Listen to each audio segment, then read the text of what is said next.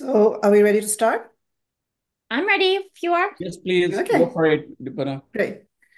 So Maia, I'll just begin in Ahomya and then we'll transition to English. Just All right. Um, yeah. উপস্থিত আটাইকে আজিৰ অনুষ্ঠানলৈ মই স্বাগতম জনাইছোঁ আমাৰ আজিৰ মূল বিষয় যদিও দুহেজাৰ তেইছ চনৰ শান্তিৰ নবেল বঁটাৰ ওপৰত ওপৰত হয় আমাৰ মাজত আজি যিহেতু ডক্টৰ হলৱাৰ্ড আছে সেই- সেইবাবে মই তেওঁক অনুৰোধ জনাইছিলোঁ যে তেওঁ আমাৰ ছাত্ৰ ছাত্ৰীক অলপ শান্তি শিক্ষা বা পিচ ষ্টাডিজৰ ওপৰতো অলপ কিছু বক্তব্য দাঙি ধৰিব। সেই আম, আমাৰ অসম আৰু উত্তৰ পূৰ্বাঞ্চলৰ আমাৰ মানুহখিনিৰ বাবে সংঘাত আৰু শান্তি শান্তি শিক্ষা বা গৱেষণা অতি গুৰুত্বপূৰ্ণ কাৰণ আমাৰ কাৰণে সংঘাত এটা জীৱন্ত ইতিহাস। আমাৰ জীৱনকালতে আমি দেখি আহিছোঁ ইমানবোৰ সংঘাত সংঘটিত হোৱা। গতিকে আমাৰ ছাত্ৰ ছাত্ৰীয়ে শান্তিৰ ওপৰত বা সংঘাতৰ ওপৰত পিচ এণ্ড কনফ্লিক্ট ষ্টাডিজ বা ৰিচাৰ্চ কৰাটো অতিকৈ জৰুৰী বুলি মই ভাবোঁ। সেয়ে আজি ডক্টৰ হলৱাৰ্ডক আমি পাই বিশেষকৈ আনন্দিত। ডক্টৰ হলৱাৰ্ডে যিহেতু অসমীয়া বুজি নাপায় আহ, মই পৰৱৰ্তী অনুষ্ঠান আহ, ইংলিছতে ইংৰাজীতে আহ, আহ, পৰিচালিত কৰি লৈ যাব বিচাৰিছোঁ So I will uh, begin by introducing uh, Dr. Hallward to all of you. Uh, she is, I'm, I'm very fortunate to have her as a co-worker at the School of Conflict Management, Peace and Development at the Kennesaw State University.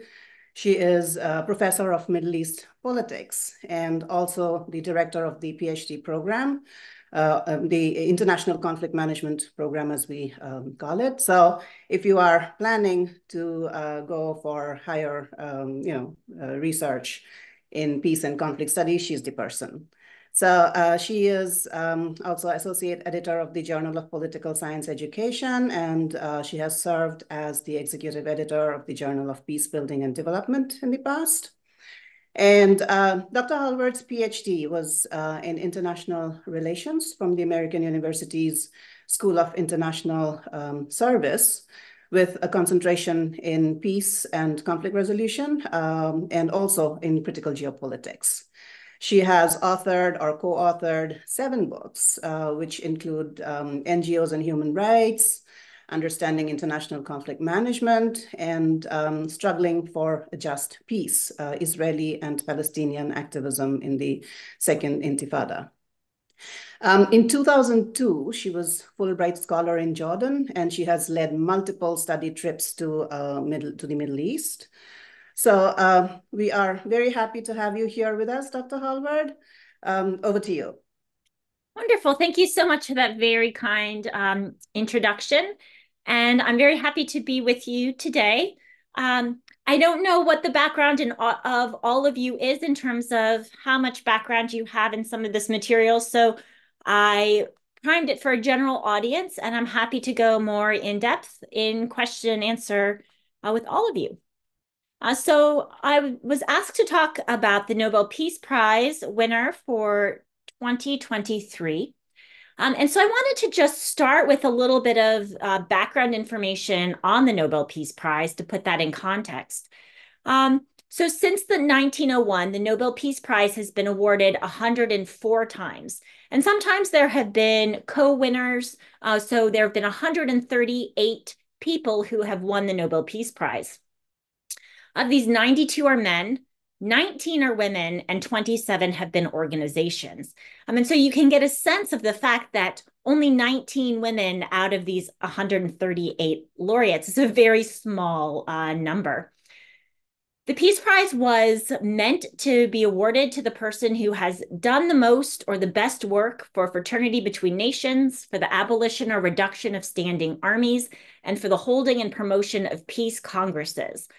And so the focus of the Peace Prize and who it's been awarded to has changed and evolved over the time as the international political situation has changed and the focus of what it means to work for peace has changed. Um, and since World War II, the Peace Prize has mainly been focused in areas of arms control and disarmament. So, for example, uh, the Peace Prize was given to organizations working on uh, banning landmines at one point. Um, in terms of peace negotiation, democracy, and human rights, um, and also work aimed at creating a better organized and more peaceful world. Um, and so there have been uh, different areas in which uh, the Peace Prize has been awarded. I, I know President, uh, former President Barack Obama received one uh, for negotiation efforts. Uh, those involved in the Israeli-Palestinian, the signers of the um, Camp David or Egypt and Israel for the Camp David Agreement, um, along with Jimmy Carter. So there have been different times when negotiation at the high state level has been the focus. Times in transnational advocacy organizations, such as the ban the Landmine Organization. So there have been lots of different types of uh, Peace Prize uh, focus. And as I said before, only 19 women have won the Nobel Peace Prize uh, over time. And the 19th which of which was Narges Mohammadi, who was the 2023 uh, recipient. Um, and she is Iranian human rights activist, 51 years old. Um, and she was the deputy head of the Defenders of Human Rights. Um, and this was a center that was led by Shirin Ebadi, who was actually another female Peace Prize laureate. Uh, she was the 2003 laureate. Um, and so she was an, this organization has ha been under attack a lot by the Iranian uh, regime um, because of its advocacy, its human rights advocacy. So Narges Mohammadi falls under sort of that, that category of, of working for human rights. Uh, and particularly, she has worked on protests for uh, gender rights, uh, for civil rights, for democracy. She has been a, in prison off and on uh, for the past 12 years. Her husband is also um, an activist, Taghi Rahmani, uh, and the two of them sort of rotated in and out of prison uh, during the time, and they've got two 16 year old children. And the only time that they've really all been together as a family, all four of them, was when they were just toddlers. Uh, so the children have essentially grown up with parents alternating who's in jail. Um, they're currently in exile in France. Um, and you can see here, we think of Iranian women as always covered and in black. Uh, that's the state requirement uh, for them, for women to be veiled um, when they're in public. Um, but a lot of women have protested this. Um, and there have been protests against the, the regime uh, that started really in August 22 when Mahsa uh, Amini was imprisoned and then killed uh, for not covering her hair adequately. Um, and so Narges Mohammadi has been really at the forefront of some of the writing um, against uh, these policies. Um, and from prison, even, she's organized protests, sit ins, uh, written guest essays, organized workshops for female inmates about their rights.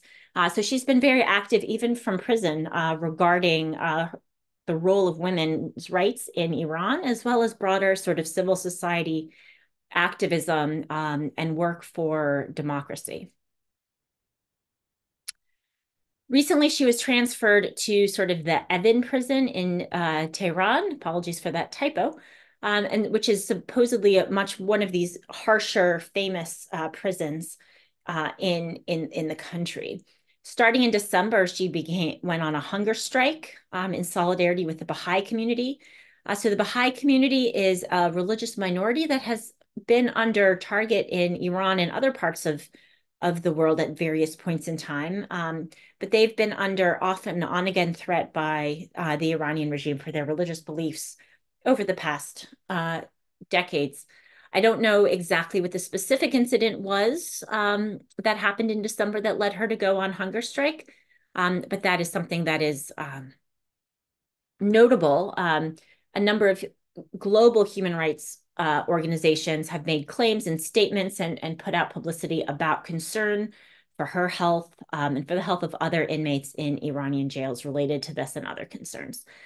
Um, this photo is uh, her husband and her two children uh, at the Nobel Prize uh, room. This is sort of the Nobel Prize guest log. Um, and this is where they are there to uh, receive the award on her behalf since she was in prison. She hasn't seen her children in eight years, most recently uh, was the re most recent time she saw them. And her children, when they were interviewed um, in conjunction with this Nobel Prize Award, they were very pessimistic that they would see her again. Um, but the children spoke about what an inspiration she was and how her ideals and her values and the struggle she's done has been uh, sort of a, an inspiration to them. And they feel like she's with them, even though she has not physically been able to be with them for the past eight years.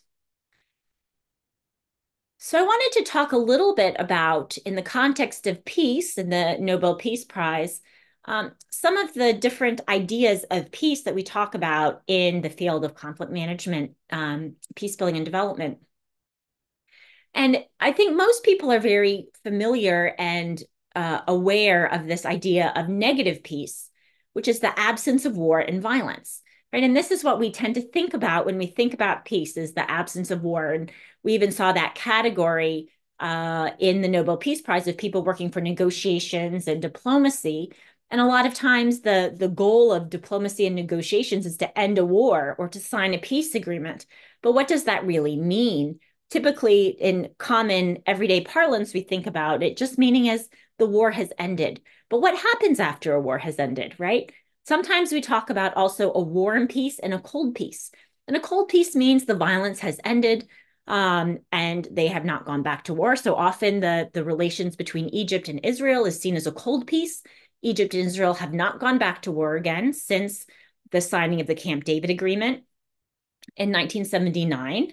But they definitely do not have a warm peace. You don't see Egyptians and Israelis uh, traveling to each other's countries regularly. You don't see them having warm relationships and common endeavors. The main common endeavor that Egypt and Israel have been engaged in most recently is together upholding the blockade on Gaza um, and that's so between governments and also more of an issue uh, in, in sort of the security realm and not an area of warmth uh, between civil society. In contrast, when we talk about positive peace, uh, this is sort of an idea put to, put forth by Johan Galtung, and uh, who's a peace scholar in Norway, um, and also Martin Luther King Jr., who was um, a civil rights activist and preacher in the southern USA. Um, and this idea is that you have the attitudes, the institutions, the structures that create and sustain peaceful societies that help enable people to reach their full potential um, and help make for a resilient society so that when there are acts that could potentially lead to violence in some cases, the society has enough uh, resilience and capacity to not revolve into or devolve into war and armed violence, but rather can um, maintain peaceable relations or at least uh, resist falling into a violent conflict. So some aspects in this particular diagram, some of the aspects of peace, positive peace are identified as a well-functioning government, equitable distribution of resources, free flows of information, good relations with neighbors, high levels of human capital, acceptance of the rights of others, low levels of corruption, and a sound business environment. So this is just one uh, portrayal of positive peace. Uh, sometimes we also see people talk about um, high support for civil rights and human rights, um, high levels of education, this idea of equitable distribution of resources, um, it's important to differentiate this idea of equity, which means everybody has what they need in order to succeed, versus equality, uh, which means everybody has the same, right? So, this idea of equality, when you have a diverse population, not everybody is in the place to need the same thing. So, equity um, is the idea that you make sure that people have uh, what they need according to the the place where they're starting from. Uh, so sometimes there's an image of, of two children, one who's quite tall, one who's quite short, trying to look over a fence at a baseball game. Equality is them just both being there on the ground with the same fence in front of them. And equity is when the smaller child has a box to stand on so that both of them can look over the fence. Um, that's one sort of visual representation of equity. Um, so this is sort of this idea of, of positive peace. Um, and in the case of Iran and Narges Mohammadi, you can see that she's they're struggling against sometimes uh, corruption, the lack of acceptance of rights, um, not always free flow of information, um, definitely not good relations with neighbors. Iran has uh, a number of struggles with uh, neighboring countries and is involved in a number of proxy wars in the region as well. Um, so there are a number of challenges facing um, human rights activists and others in civil society within Iran. The other thing I wanted to talk a little bit about is another way of looking at this Nobel Peace Prize winner is through the lens of the Sustainable Development Goals. And the Sustainable Development Goals were passed by the United Nations as part of the 2030 Agenda. Um, and they follow up on, on what were previously called the Millennium Development Goals, which were aimed at the 2000s. And we're now in 2023, so we're past the Millennium Development Goals. Most of them were not met. Um, and this is this idea to try to address thematic issues that face countries around the world, particularly those identified as developing countries, um, on topics including water, energy, climate, um, a whole range of, there were 16 or 17, uh, develop, 17 development goals. And two of them in particular are of relevance to talking about this Nobel Peace Prize uh, winner. One is the Sustainable Development Goal number five, uh, which is gender equality. Um, and the goal is to achieve gender equality and empower all women and girls. And you can see from this graphic that the world is not on track to achieve gender equality by 2030. Um, only this small amount, I think it's like 15% um, of countries are on track out of the indicators. Um, and you can see all the rest are not on track. Some are very far off track and some are at a moderate distance, but it's not very clear uh, where that line is. It looks like about 60% are at a moderate distance and 23% are very far. Um, and, it, and it's quite difficult to sort of see these data. Sort of at the current rate, it will take 300 years to end child marriage, 286 years to close gaps in legal protections, and 140 years to achieve equal representation in leadership in the workplace. Um, and, and so part of the work of Narges Mohammadi is actually related to this goal five of achieving gender equality and empowering women and girls. Um, the 2022 uprising in Iran was focused on women, life, and freedom. Uh, women in Iran uh, have very different different access to employment, education, social benefits, and health care than men. Um, and women really, in order to receive a lot of those benefits and those basic rights, uh, depend on complying with these hijab laws. So these laws that you wear the hijab in public, um, and there are groups that then monitor women's compliance with this, how much of their hair is covering, if their hair is covered, what they're wearing out and about in public. Um, so women have been struggling to end some of these laws and to achieve greater equality of women in the workplace and in the government, um, as well as different rights that govern women's marriage age and inheritance, as well as guardianship rights. So having a guardian that helps oversee and controls what women can and cannot do.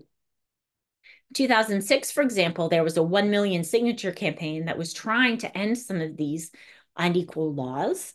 Um, that was not successful. Um, and there have been more efforts once with social media, Facebook, Twitter, other things. The internet has given women more space for protesting more broadly because they can do so from their homes and they can reach broader audiences. The government does have a lot of controls on on the internet and other things, but often these activists are very creative at finding ways around that.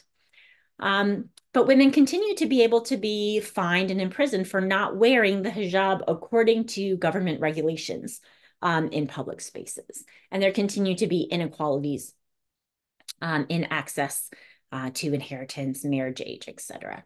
Uh, and it's not unique to Iran. Again, one in five young women around the world uh, in these areas are married before their 18th birthday. So there continues to be uh, young marriage um, in other places and unequal representation in politics uh, around the globe as well. And so these are some of the things that Narges Mohammadi is struggling against uh, and led to her imprisonment, but also to her awarding um, the Nobel Prize. The other sustainable development goal that's uh, related to this, this case would be Sustainable Development Goal 16, which is to promote peaceful and inclusive societies for sustainable development, provide access to justice for all, and build effective, accountable, and inclusive institutions at all levels. Um, and so this is related to the work of Narges Mohammadi on working for rights, helping youth, women, and others be represented in politics. Uh, right now, this, this graphic down here at the bottom shows that youth are, the global median age is 30, uh, but the average age of members in parliament is 51, so about 20 year gap. In Iran in 2020, the median age in Iran was 32. I wasn't able to find uh, data for the average age uh, in the Iranian government, but um, the Iranian system is a very mixed system. So some are elected, but some are appointed by uh, religious leadership. And the religious leadership is able to, some of these appointed positions by um, religious leadership are able to strike candidates and determine who is eligible to uh, run for election. So there, even in those uh, elected areas, there's a lot of restriction. Uh, women are more than 60% in the university system in Iran, um, but are not equally represented in government or in uh, the workplace and have a lot of restrictions on them, as we were just discussing.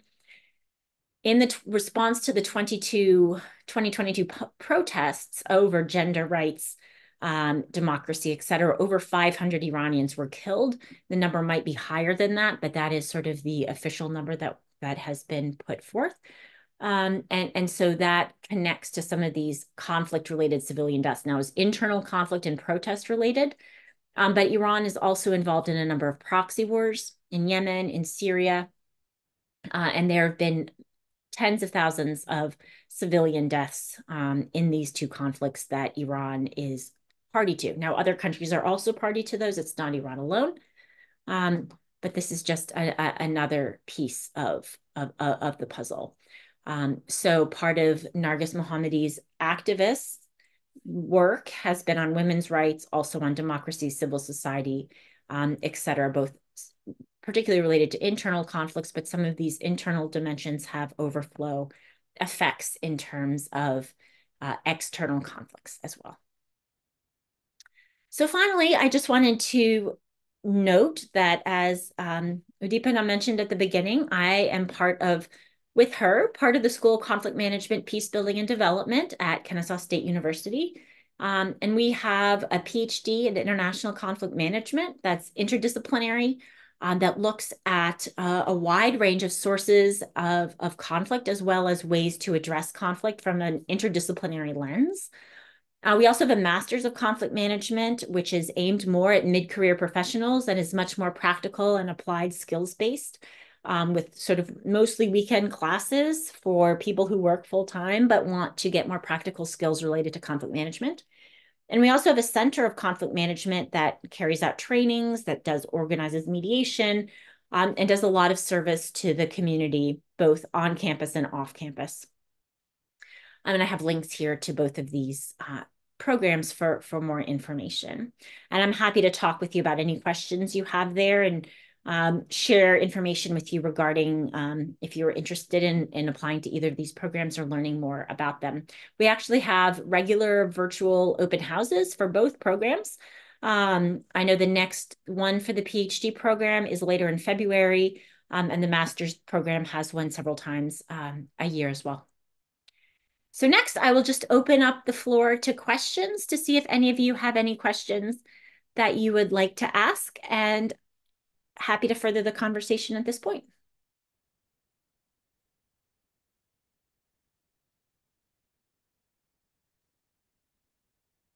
Maia, thank you so much for that talk. And I'm sure um, our students were hugely benefited from this. And especially, as I said in the beginning, um, you know, uh, studying peace and conflict is very important. It's essential for us in Northeast India and in Assam because we've had a lived experience of it. So I'm hoping that your talk has inspired uh, some of the students present here today to uh, pursue it. And as you said, um, you know, we have these amazing programs and um, amazing opportunities for um, young researchers, uh, students who want to pursue their masters, uh, professionals even. So um, the, as Maia said, the floor is open. Uh, if any of you want to ask any questions, uh, you can uh, type them in the chat or um, you can raise your hand here. Uh, Udipana, I saw someone was raising hand, but uh, I see the hand down now. If anyone wants to. Okay. Um, whoever it was who had raised their hand, could you uh, please speak up? Sorry, we missed you uh, when you did raise your hand.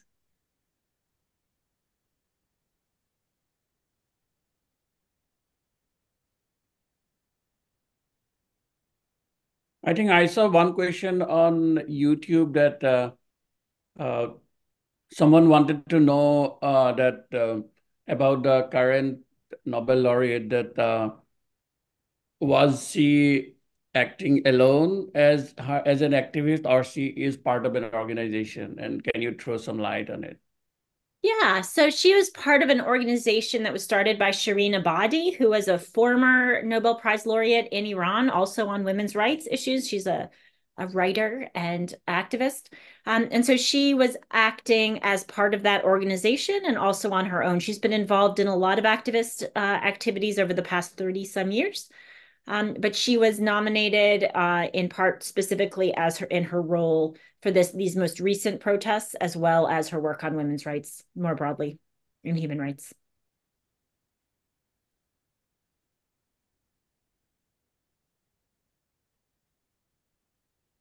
Uh, there was another question I saw on Facebook about uh, opportunities for students who wish to pursue studies uh, abroad, like or maybe opportunities uh, in the U.S. or elsewhere about uh, you know I mean peace related or conflict management studies.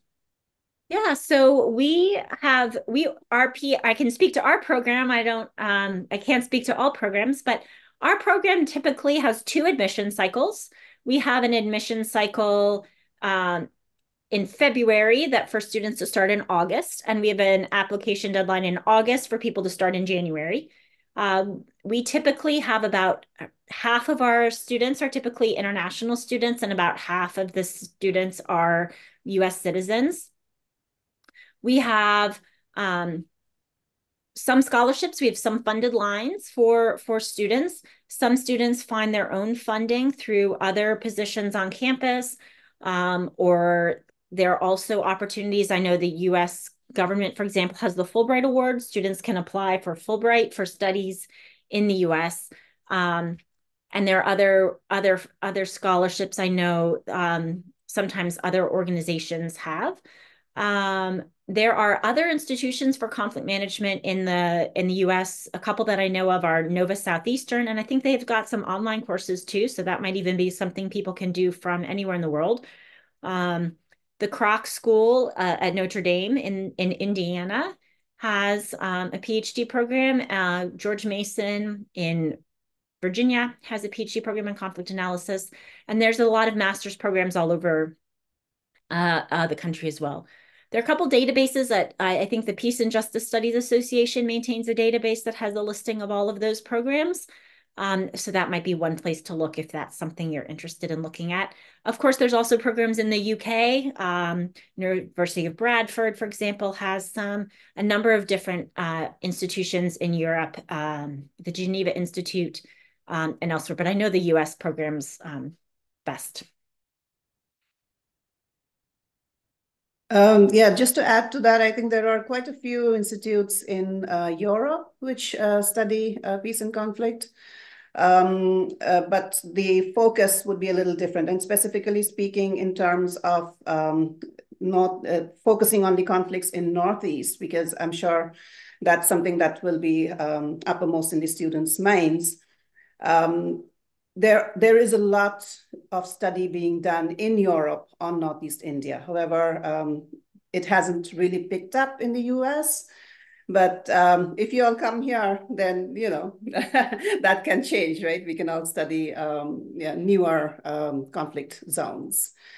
Um, so there was one question in the chat earlier about the um, from students of the Goalpara College who wanted to know about the status of women in India. So maybe you want to just kind of put that in perspective of the status of women everywhere. Uh, no, she's, yeah. just to correct, she is professor in uh, College at uh, Dipanjali. And maybe, do you want to ask yourself, Dipanjali? Uh, I can unmute you. Yeah, please. Maybe you can ask in detail what you want to share. You're unmuted.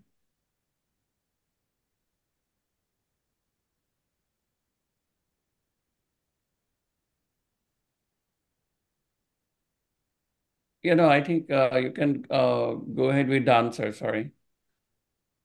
Okay. Uh, so I'm not as familiar with uh, all of the different instances of women in in India, and India is such a very diverse country that I would hesitate to speak on uh, on all of that. But uh, but I will say that I think generally speaking, women face a wide range of challenges around the world um, that are unique to women. Um, one of those is women are often expected to carry out second shift duties um, in terms of uh, obligations and work um, in the house and in the community.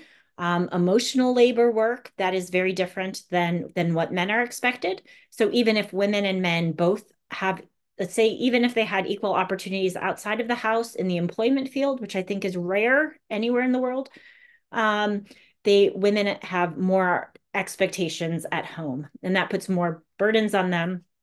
Um, both uh, emotional and in terms of energy and other resources um, that then makes it more difficult for them to advance equally in, in the workplace. I think there's also different assumptions related to how women are going to be in the work uh, workforce. And again, this changes, this varies on cultural levels. It, it, it varies uh, again, against on type of job, et cetera. But women are also often um, penalized for not smiling.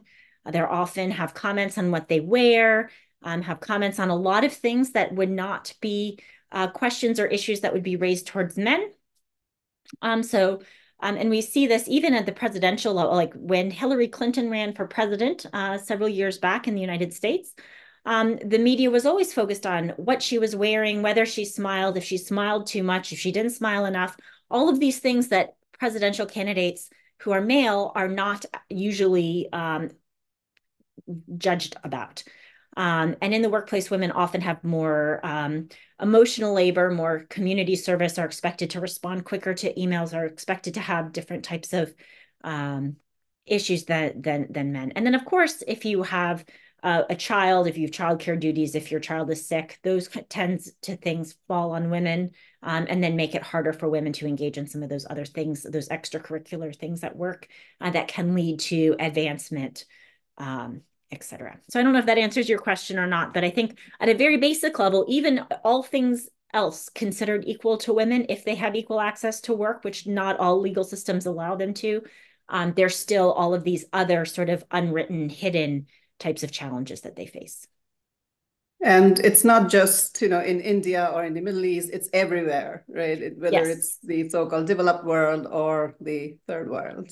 Yeah, I was speaking from my experience in the U.S. specifically. So I was so um yeah so i would i would say absolutely the and the challenges for for women everywhere are are, are there many unseen and i've had conversations with um men who are like oh there's no women there's women have a full equality there's no issues facing women in the workplace anymore i'm like yeah that's not actually so accurate based on my own personal experience but that's fine um, you you don't always see the, a lot of the things that are that that face women. Some are very obvious, right? So if you look at at the case of Narges Mohammadi, and she's talking about this these discrimination against women in terms of wearing the hijab in public, that's a very obvious, visible form of discrimination. But there's many invisible signs of discrimination and and things that hold uh, women uh, in that put up obstacles for women that are not as easily visibly documented around the world.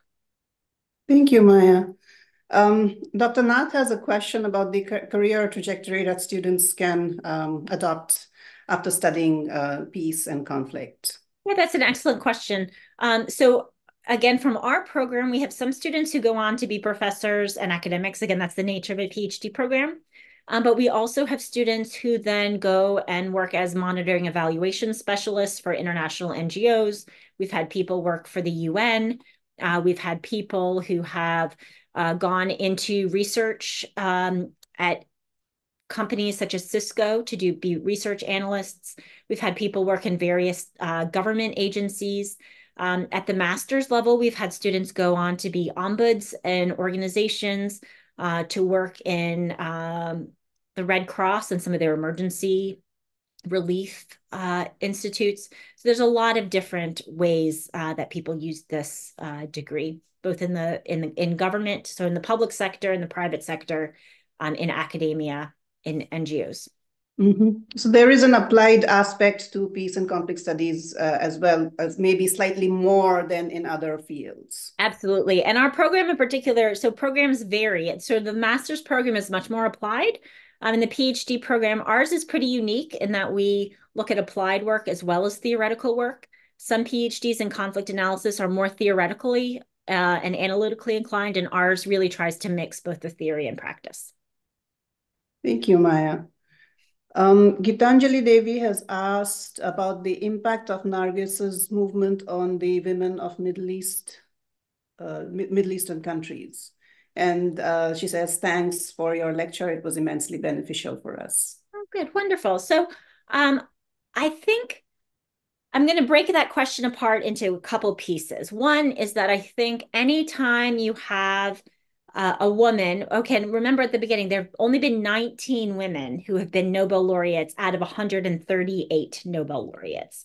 So giving the recognition, the international recognition to a woman raises the level of international awareness uh, of the issue, right? And so that gives visibility to women in Iran in a way that they may not have had uh, previously, um, or maybe it had fallen back under the radar. So that gives a level of international legitimacy to their struggle and and the work that they're doing. However, given some of the challenges in the international community and in the international system more broadly. Um, for example, the US in recent years has had very antagonistic relationships with Iran. Um, it's not clear whether the Nobel Prize, this is a debate we see in peace and conflict studies, is that whether international attention to an issue and to international activists gives them more legitimacy or makes them more of a target by their government, right? So it could be that the government of Iran then says, okay, the international community is ganging up on us. Um, and that can then sometimes cause more tension, or they can see that the claim that these activists are traitors and connected to the West or tra- connected to our enemies. I mean, this is further evidence that they're not actually um, invested in Iran, right? So that I'm just speaking hypothetically right there, but that is something. So, for example, in 2007, when there were the Green Movement protests um, in terms of a lot of Iranians took to the streets in protest of, of corruption related to the election.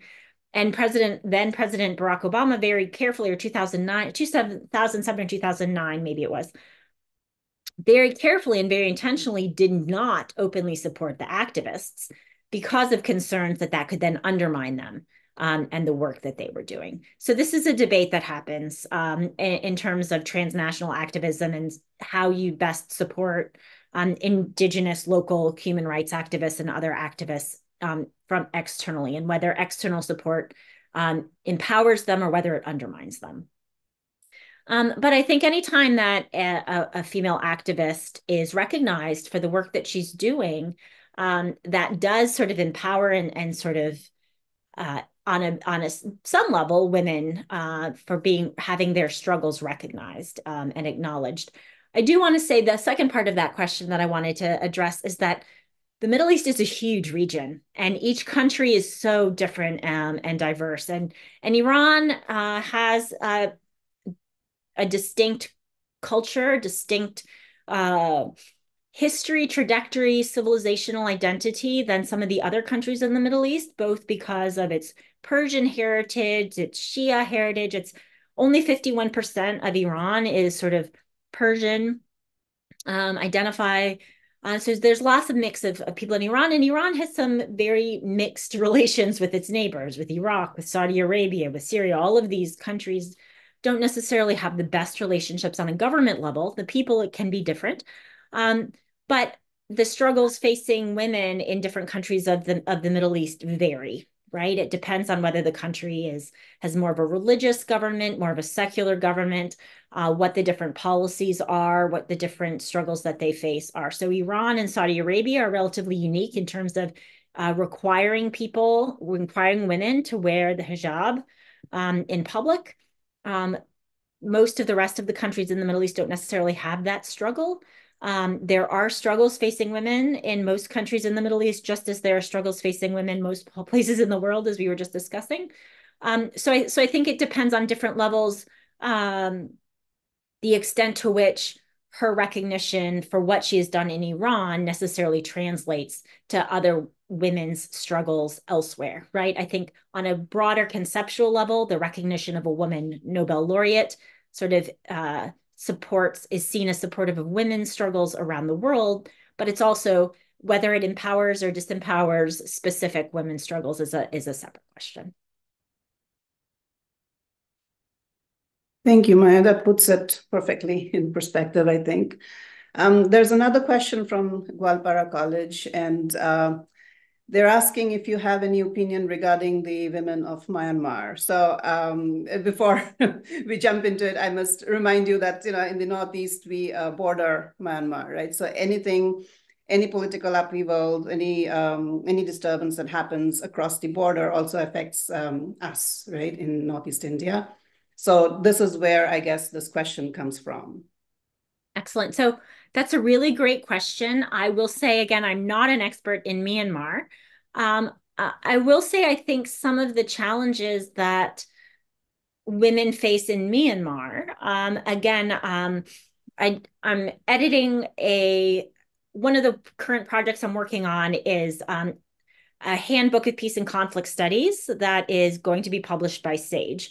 Um, and I'm in charge of the section on case studies, and there's a case study that has been written um, on Myanmar and on um, some of the, the struggles in, in Myanmar. Uh, so I have been looking at different drafts of, of that. Um, and I have followed to some extent some of the civil uprisings that have happened there, as well as the, the challenges facing um, sort of the stateless people um, in Myanmar as, as well. Now, the paper that I'm focusing on hasn't been as specific on gender um, and, and, women, but but I think there are a number of challenges in Myanmar regarding again uh, when you have an oppressive state, um, when you have challenges between different um, national identity groups in a state, when you have um, stateless people, when you have a history of repression um, and civil unrest. Women tend to bear the brunt of some of these issues. And a lot of times when there's a national struggle and also a gender struggle, women's movements historically, if you look across the board over time and across different country settings, women are asked to put their movement on hold while the national struggle is conducted. And so women are said, okay, we see your struggle, but the national struggle is more important or our ethnic struggle is more important, or the liberation struggle is more important. And once we complete that, then we will deal with the women's struggle. Um, and so, um, without speaking, knowing the specifics of, of, of, what's happening in Myanmar on that angle, I can say that this tends to be uh, the dynamic that happens um, in many countries around the world um, in terms of, yes, we see the women's struggle, but we need to look at this one first. Um, and then after that struggle, there's always another struggle. And so the women's struggle often gets put to the side, even when women have been uh, leaders in, in the movements. I was actually uh, helping my daughter study for a test she has coming up on World War II in the United States. And one of the questions had to do with the question about women working in factories during World War II and what happened when the soldiers came home. And so women put things to the side. Women worked in the factories. There was lots of champion of women's rights and the Rosie the Riveter, we can do it type slogans. And then once the men come back, women are expected to silently and go back to working in the house without payment, without expectation of working in the home, right, uh, outside of the home. Um, and, and so you see this uh, happen again and again. Um, so yeah, that's sort of my answer there um, without knowing more specifics. Yeah, I mean, it just replicates itself over and over again, right? So women are expected to have a public face, but then they cannot, these are men's struggles. The nationalist struggles are men's struggles. And then the women uh, have to step in whenever they're required and step back whenever, you know, um, like actual decision making happens. And that's been our experience in the conflict zone as well. So yeah, thank you for that. Um, are there any more questions, Rifat? There aren't any. Uh, yeah, there was one question online I saw on Facebook that um, I mean, which probably is little um, difficult, but still I will read it. That um, in your mind, because today this is, talk is on Nobel Peace Prize, do you think that uh, there has been few very notable uh, peace activists in the past from all over the world who did not uh, receive the Nobel Prize. We will leave Mahatma Gandhi for the time being, but apart from him, anybody else in your mind that probably who would have got who did not get it?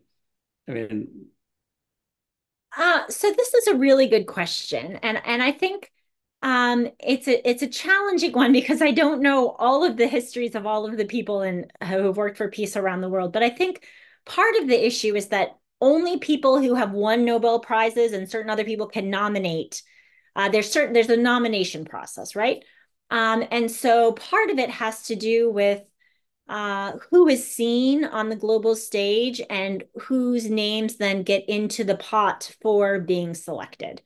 Um, and as with any prize, again, there's going to be a an aspect of a political decision, right? In terms of part of the goal of the Nobel Prize is to raise attention to certain causes, to certain individuals.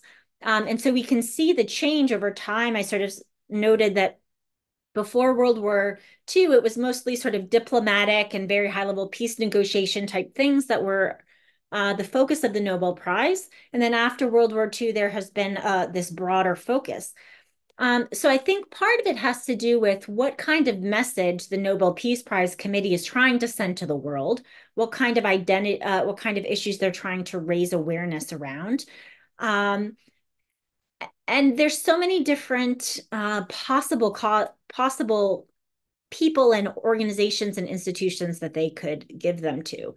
I'm sure there many people who should get it that that do not um, because they can only give one a year and there's um, almost 200 countries in the world and so many different movements in all of them. So um, there's certainly people who deserve it who don't get it. But part of it i think is a, a matter of how they define peace and what their goals are in terms of those specific aspects of peace. And that's why i kind of tried to emphasize this difference between negative peace and positive peace um, and how uh, people in different parts of the world in different movements, what they might be seeking for in terms of some of the positive peace aspects might be seen as threatening to the status quo and might be then seen as contributing to conflict uh, rather than contributing to peace. Um, and this is one of the things in the field of peace and conflict studies that I talk about a lot in my classes is that there's a difference between conflict and violence.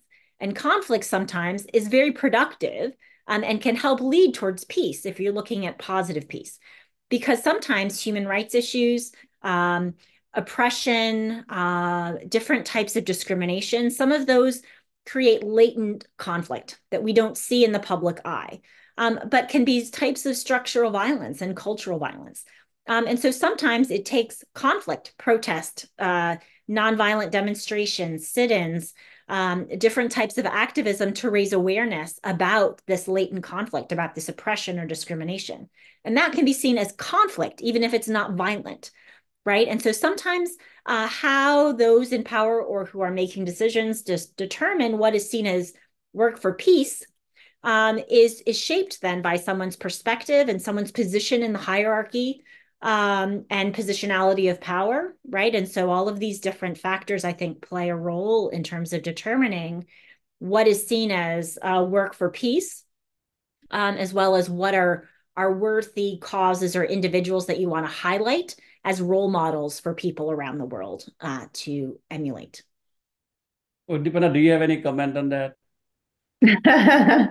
Yeah, actually, I mean, I'm I'm with you on this, Maia. And uh, just like we, I think, need to question um, the omission of certain people from the list of uh, you know Peace Nobel laureates, we could also question the inclusion of some of them, right? So it's, uh, again, a question of power, who's seen, who's not seen, what kind of conflicts are in the international conversations. Um, so there's a lot of um, uh, politics involved in that as well, right? So we can question, and we can look at it from many different ways and you know talk about why did this person get the Peace Prize when you know uh, immediately after that, they turned around and created all these many violent uh, and committed all these many violent uh, uh, acts of violence. So um, yeah, we can go on and on with that.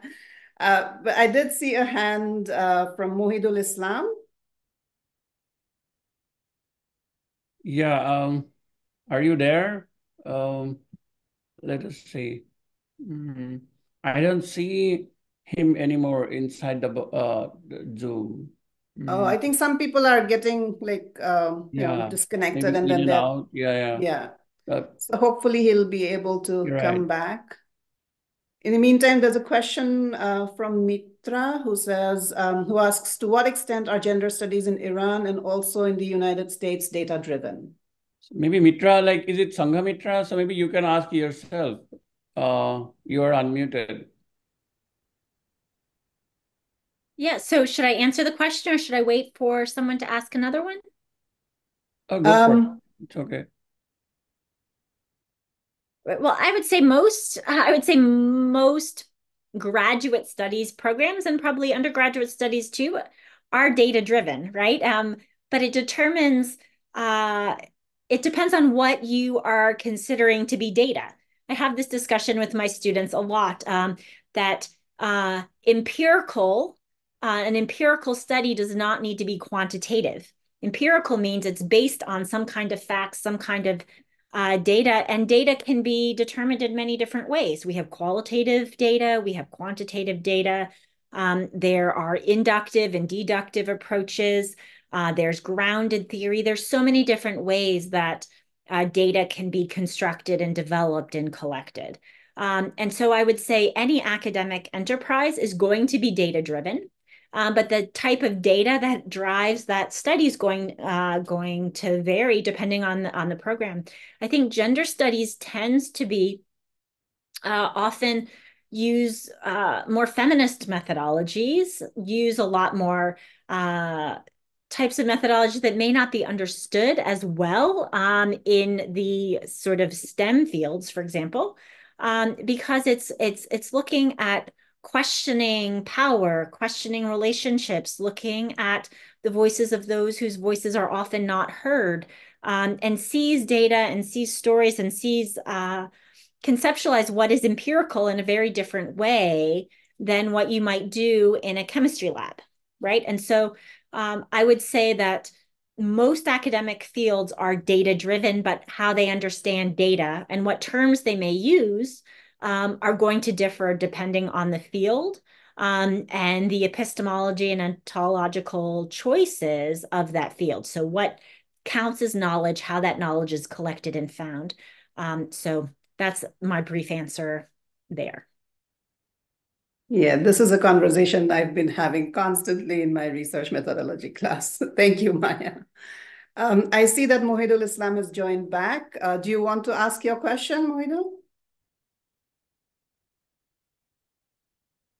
Maybe we will have to unmute him from our side. One second. Oh, okay. Mm, oh, yeah. Uh, Mohidul, yeah. Uh, you can you can speak up, I guess.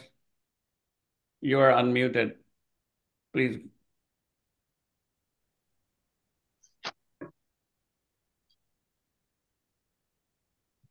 Yeah, please. We we can. Uh, you are unmuted.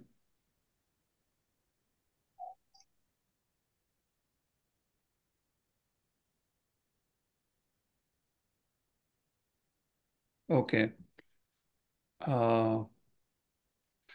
So then the, moving on, Uddipana, I, I saw just, uh, I think this is a curiosity from my mind, which might be very silly, that uh, regarding the current Nobel laureate, um, is she still in prison? To my understanding, yes, she's still in prison. So like, how does this, uh, uh, so that, that would be my, or like, you know, curiosity that how uh, this peace prize being offered is leading or like, you know, leading to her acquittal? Does it have any role or not at all? I mean, I, I personally don't think it would have any role in an acquittal process because she's in prison, I think, for a 12 or 13 year term this time around.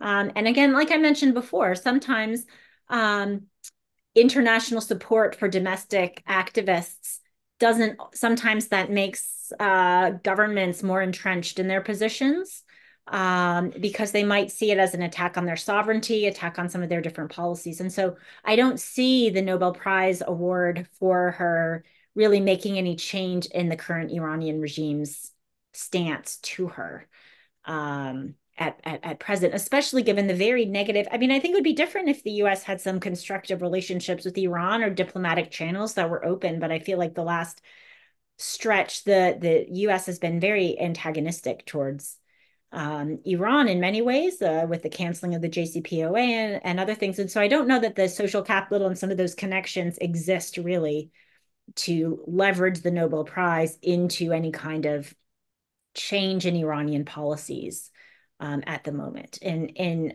I, I think if anything, and again, I'm I'm speaking on my own sort of speculation here. This is not sort of based in any kind of in-depth research I've done on this topic.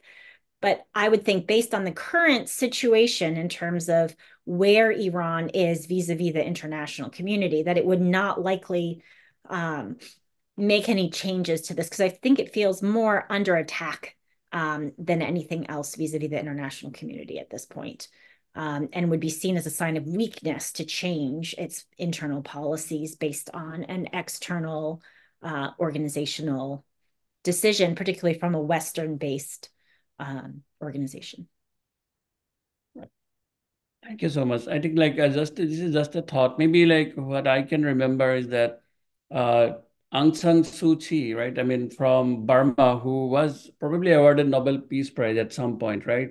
And when she was imprisoned, maybe, and she went on to become the like a president, I guess, of the country, isn't it? So maybe there is uh, there is hope. I mean that, that, it could be, but I think her. I think if we look at the example of Aung San Suu Kyi, she has made some questionable uh, questionable actions that are not consistent with the behavior you would expect of a Nobel Peace Prize laureate once she was in power, right? So I think uh, to Uddipana's comment earlier, uh, that just because someone has uh, been awarded a Nobel Peace Prize does not make them a perfect human being um, or make them always make actions that are consistent with um, world peace or positive peace. I mean, I think there are a number of examples I can think of offhand of individuals who won the Nobel Prize who have been involved in all sorts of egregious actions uh, that have been contrary to peace. Um, so I, I, think again, it can be partly a political decision. I think it can have an impact. It can empower people. So, for example, um, it uh, was awarded to Tawakkol Karman and Rose uh, raised awareness about the struggles she was having in Yemen. Uh, there were some activists, um, I'm not going to pronounce their names correctly, um, from Ghana and elsewhere in, in Western Africa, and it helped raise awareness to their campaigns and their issues that they were struggling against. But again, it's, it, it is not, um, it's not a free pass to ena- enacting change. It can be one mechanism that can help um, give legitimacy to certain audiences um, for the struggle that they're engaged in, but it can also be a sign of illegitimacy to other entities who may be uh, working against them, right? So it depends a, a, little bit on the on the perspective and and where people are um, in their stance vis-a-vis these uh, international organizations. Thank you. Thank you so much. And ultimately, I guess we must remember that the Nobel prizes are also a lot about international power politics, right? Who controls um, the decision-making power and who decides. So these are questions that can go on and on. And if you look at individual instances, like Suu Kyi's government was finally toppled, right? Uh, so yeah, many questions. I think those are all the questions that I could find on all the platforms like uh, on Zoom, on Facebook, and on YouTube. So any more questions? Maybe like, are there any questions from our group members here? Anyone? If not, uh, Udipana, before you conclude, uh, I will leave it to you. I want to um, say special thanks to the students uh, in two colleges who joined uh, in good numbers. One is uh, Dunoy College, uh, and sincere thanks to their uh, very encouraging teacher, Professor Dipanjali Devi. Thank you, Ms. Devi, and thanks to all the students, and also the students from Goalpara College. So again, like sincere thanks to the principal of Goalpara College for encouraging the students. And of course, thanks to the students from both the colleges who joined in good numbers. We really appreciate it. And now, Udipana, please, uh, you can uh, conclude maybe. Thanks, Rifat. And I echo your thanks to uh, these two colleges and to all the other students who have uh, joined today. Um, I am so happy as somebody from the Northeast who is working on peace and conflict. I'm very happy to see so much interest among the students and uh, the questions that you asked uh, reflected those um, that interest. So if you want to know um, any more about how it's uh, how how how to continue with peace studies, please feel free to reach out to me, and uh, we will um, make um, the information available through the um, uh, through our platform as well. And um, before we conclude, I really want to thank uh, Dr. Hallward a lot for giving us uh, her time today and her expertise. And um, uh, yeah, like the students said, they really benefited from your talk. And I'm hoping that some of them will reach out to you or to me uh, for with further questions. Before we Thank conclude, you for the invitation, and I'm happy to talk with any of you who are interested in our programs. Just reach out, and I'm happy to talk more. I will make that information available to them. Thank you so much, uh, Udipana, for your initiative in organizing today's lecture. And thank you, uh, Dr. Hallward, again. And before we conclude, uh, just an announcement for the next lecture. Actually, uh, we are, um, um, we will be celebrating our, like in our, our third annual day as, as a team 15 minute Xikhya. And on that occasion, so we have a guest speaker who is a very leading uh, worker who has been working in the field of, you know, I mean, uh, conservation of birds. So she is known as the Hargila lady, and her name is uh, Purnima Devi Barman. And uh, I think many of you guys know about her. And she will be our guest speaker uh, for our third annual day lecture, and that is on February 25th uh, after two weeks. And please join us, and she will uh, discuss about her journey and what led her to work for those uh, hargila. That is uh, that is the Assamese word I think for that bird, and which is uh, so. Hope you will be able to join us all. So see you all again that time. And thank you, everyone. Thank you, everybody.